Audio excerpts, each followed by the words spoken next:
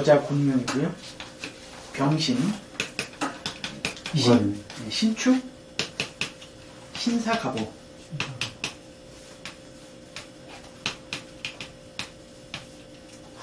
경자 기해 무술 역행이고요.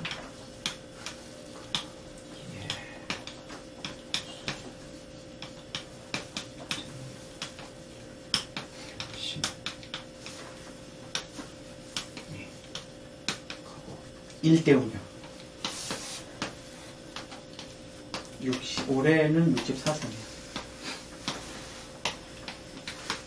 65세. 아, 65세. 네. 어, 맞네, 65세. 우- 우- 우리 이게 지금 이 사주를 입수하는 게 오래돼가지고 아, 좀 그렇긴 한데 이 격을 그 예, 지금 뭘로 잡아야 되나요?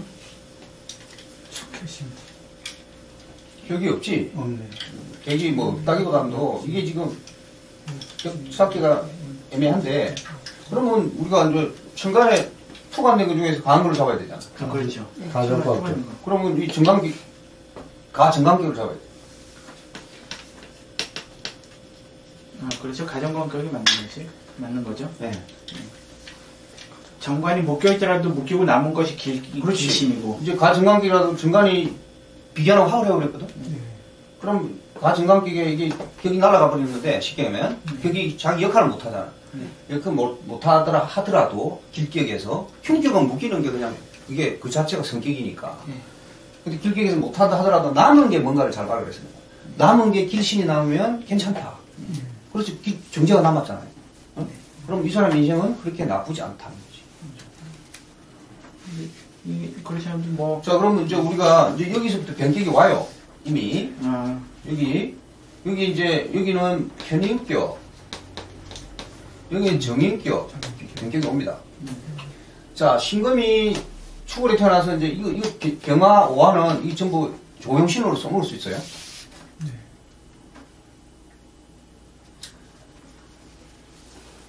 그러네. 그죠? 네. 그래서 어쩌지 뭐, 먹고 사는 데는 뭐 지장이 없는 분이라고 그러는데. 그 다음에 일간이 강해. 음. 이 지금 축토의 통건, 신, 다화의 통건, 신금의 통건.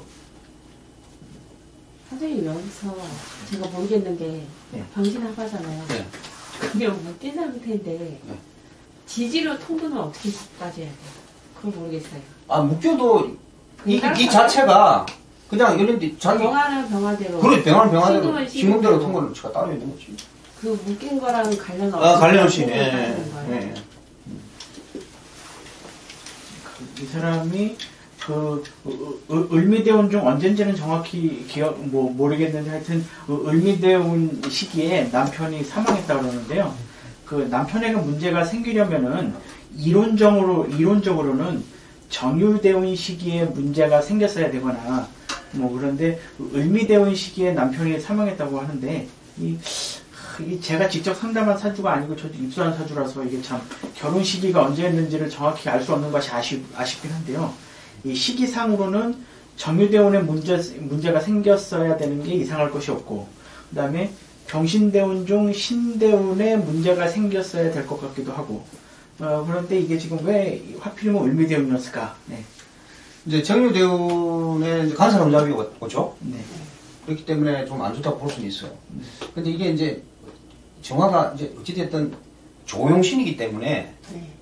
아, 조후지. 조용신이기 때문에 사화, 오화가 있어도 네. 있어도 이때 그렇게 나쁘진 않았을 거예요.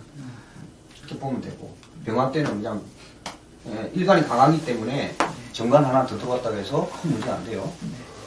이때는 이제, 이제 격이 완전히 나타났지.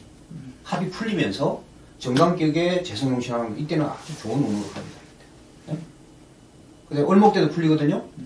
정관격에 재성용신 이런 운은 아주 좋아요. 이때 이 사람이 한몫 잡았을 것이다. 나 이렇게 보는 거예요. 그렇기 때문에 후보상에 지장이 없다는 거죠. 아, 을대운. 병신 을미 때문에 아, 네. 예, 을미 때문에. 근데 차별한 거는 특별한 기미가 안 보여요. 안 보여요. 그러면 우리가 내 사주를 가지고 내 마누라, 내 사주를 가지고 내 남편의 죽, 왜 죽었냐를 추정하는 건 굉장히 어려워. 사실 알 수, 있, 그런 알, 그렇게 탁 눈에 드러나는 사주도 있어요. 확실하게. 근데 이 사람의 죽고 사는 거는 이, 이 사람의 운명이 아니고 그 사람의 운명이기 때문에 사실상 그 사람의 남편 사주를 봐요. 예, 남편 죽은 사람의 사주를 보고서 우리가 판단하는 게 더 정확하고 이 사람의 운명을 가지고 그 사람이 이때 죽었을 것이다 이렇게 판단하기는 사실 어렵고 어떤 사주는 딱 보면 아 이때 남편 죽었겠구나 딱 나타나는 사주가 있어요. 있긴 있어요. 예, 있긴 있어요. 그런데 모든 사주를 그렇게 다 그 그 여자 사주를 가지고 남편이 언제 죽고 이걸 판단하기는 굉장히 어렵습니다. 그러면 지금 그 뭐였어요? 제가 갑자기 지금 생각난 질문인데 이 사주에 대해서 지금 병신합으로 정, 그 가정관이 묶였지만 재성이라고 하는 길신이 남았기 때문에 완전 파격으로 보지는 않는다가 지금 사주 그. 원국에 대한 설- 그렇지. 설명이잖아요. 예. 음, 이게 지금 간목이 예. 그 오화라고 하는 사지에 놓여 있어요. 음. 그. 통분도 없고. 음. 예. 그런데 지금 을미대운 중 미토가 오면 유일하게 묶이고 남아있는 길신이 인묘지에 들어가서 음. 혹시 이것 때문에 뭐, 뭐 남편으로 문제가 왔다 이렇게까지 찝, 찝기는 어렵지만 음. 예, 그래도 아 이 사람한테 유일한 묶이고 남은 길신이 인묘지에 들어가니까 요때 무슨 그 문제라든가 힘든 일이 있긴 있었겠구나 정도의 어림 짐작은 할수 있지 않을까요? 그렇게 보기는 어렵고 그다음 대신에 을목이 등장했는데 아 천간으로는 을목이. 그렇지. 네. 을목, 을목이 등장했기 때문에 그렇게까지 비하할 건 없고. 아, 그래서, 어찌됐든, 이런 운들은 뭐 남편이 죽었, 죽었던 간에 이 사람의 운명적으로는 괜찮은 운에 들어가 있었어. 네. 그러니까, 그, 남편 잘 죽었다 생각할 수도 있지. 운명적으로.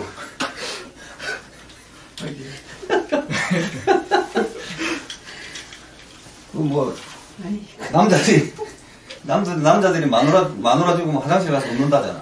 응? 여자들은 남편 주고 어디 가서 웃어요? 너무 어이없다. 화장실 가서 뭐 복도 많아 복도 많아 그러겠지. 어이없어. 복도 많아.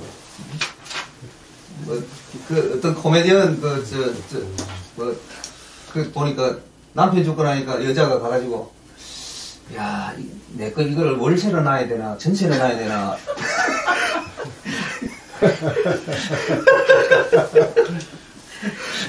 그 고민했다는 사람도 있던데 그 코미디 누가 그걸 보 그걸